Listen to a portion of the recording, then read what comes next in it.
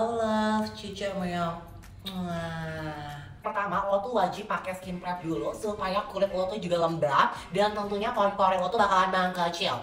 Step kedua, lo tuh wajib menggunakan primer juga ya kan? Biar makeup lo tuh nggak nge-crack, biar kayak nggak daran pantura rusak gitu kan? Biar nggak ada garis-garis halusnya. Nah, di blend-blend sampai rata pokoknya. ya, Nah ini dia untuk hacksnya lo pertama-tama siapin juga sendok sama si foundationnya. Ini gue pakai foundation photogenic dari uh, si Music Flowers yang shade 101 ya kita tuangin foundationnya ke si sendok. Nah kita tuangin berapa pump 1 sampai 2 pump juga udah cukup. Kalau sudah seperti ini udah kita stop. Kita dinginkan dahulu. Nah ini untuk hairspray itu udah padat. Gue bakal ratain pakai si brush ini ke muka gue.